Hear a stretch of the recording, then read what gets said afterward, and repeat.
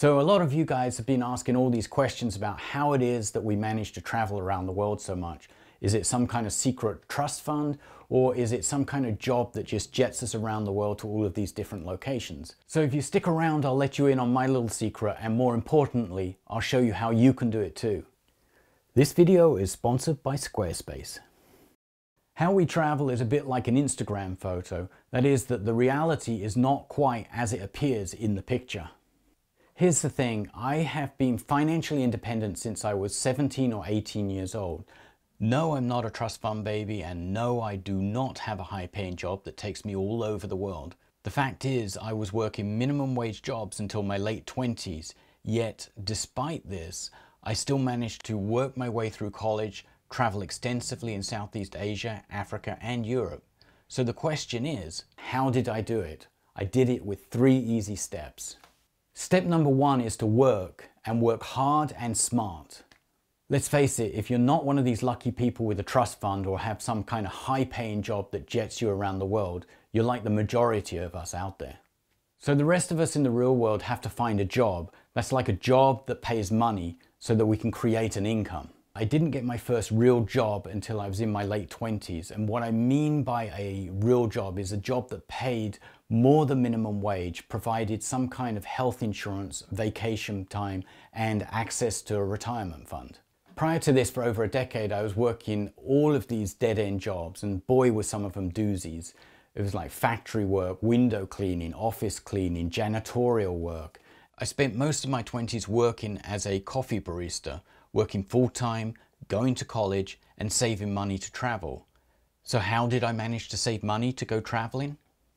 So, step one is to work and create an income.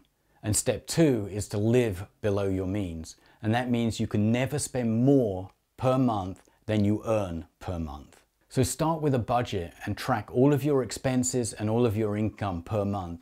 And if you cannot do this, you will never be able to get to step three. Now you need to reduce your monthly expenses and any unnecessary spending has to stop.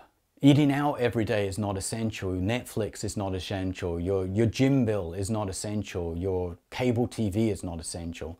That thing you saw that you think you have to have is not essential. So your largest monthly expenses are going to be your housing, your transportation, and your food. And you can reduce all of these. You can reduce your transportation by dumping your car and taking a bus or bicycling or walking. If you're renting, you can move to a cheaper part of town and take in some roommates as well. And then for food, it's like learn to cook. It's cheaper to go to a grocery store and cook at home instead of eating out every day. When I worked that minimum wage coffee job in my 20s, I lived in a shared house with four roommates. The rent, the electric, and the phone line was all split five ways. We didn't have cable TV, I didn't have a car, I walked and I took the bus everywhere. I cooked a fixed menu every week for years. I got my grocery bills down to the equivalent to less than $25 per week in today's dollars. I was eating the same menu each week for months. At the beginning of the week, it would start off as some kind of spaghetti sauce, and by the end of the week, it wound up being a chili sauce. The budgeting and keeping it up is the hard part. If you are totally unable to do that, you will never get to the fun part, which is saving money. That's where you take all of your hard earned income throughout the month, take away all of your like squeezed expenses throughout the month, and that leaves you with some cash, which is your saved money. The fun part is watching your savings grow over time, knowing that at some point in time you're going to be able to use that for something you really want to do, like travel. The creative part of this is to constantly be reviewing your budget to find ways to reduce your monthly expenses to increase your savings. Of course, the other way to increase your savings is to increase your income. You can do this by starting a side hustle or taking on a second job on, in the evenings. This video is sponsored by Squarespace. From websites and online stores to marketing tools and analytics, Squarespace is an all-in-one platform to build a beautiful online presence for your portfolio or business.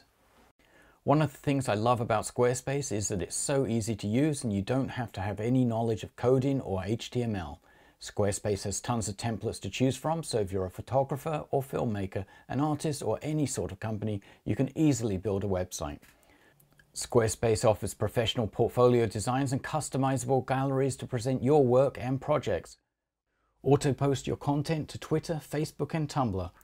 All social posts and images are optimized and tagged properly so your descriptions and titles will be correctly referenced.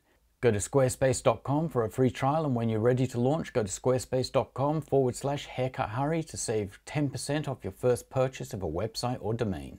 So there we have it. That is how I've always afforded to travel. I simply worked hard, lived well below my means and saved every penny. What started out as an absolute necessity in my teens just to get by, I just kept doing and I continue to do as today, and that is to live below my means.